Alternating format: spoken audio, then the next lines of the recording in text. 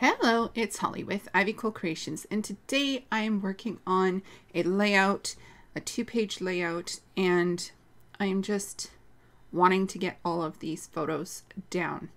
So I'm pulling little kits that I've created, and I had this these two pieces of paper that I wanted to use and because the florals are so busy, I decided to cut it on a diagonal and do triangle type, a triangle type two pager. So what I ended up doing was sorting out all my photos, figuring out where I wanted them, and then I started in on my clusters. Now because the paper is so busy, I had more trouble trying to figure out what I was going to do for my title. And I ended up using these foam thickers that I had saying the best. And then um, Outside Adventures fit perfectly into that little nook between the two photos. And um, I really like the way that that turned out. I started my cluster base with these little open tags. They kind of look like book plates, and that's kind of what I uh, use them as.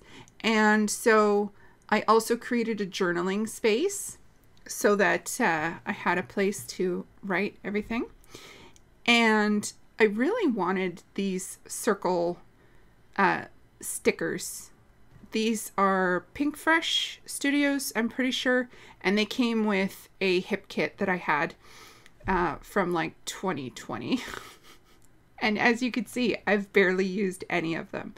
So I really wanted to kind of have circles as a motif and spread them out over the two pages. So I have these wood veneer with um, like floral designs on top and then I've got the chipboard circles. I just tried to make the three points to create a triangle so that you would have a visual triangle.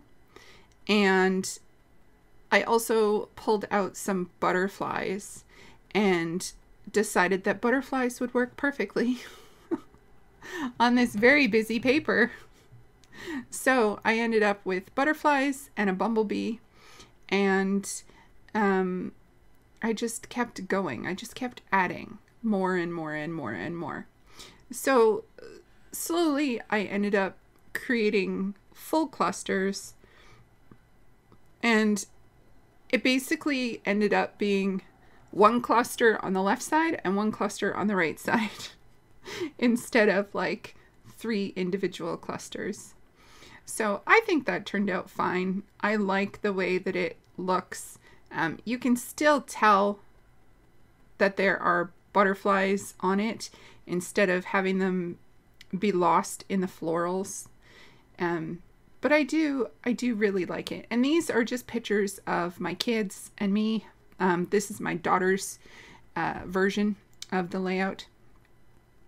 And uh, we were just at the park. And so I just wanted these really cute pictures of her at the park um, and the ducks and, you know, her bugging the ducks and um, playing at the water. So I decided I would use brads as um, kind of like placeholders for the book plate um, tag idea. And then I added a couple other little um, stickers that have bowl clips on it and uh, a couple more butterflies just to, you know, add more and also use up what I what I had. Um, I was in the mood to use things up. So please don't forget to like, comment, and subscribe.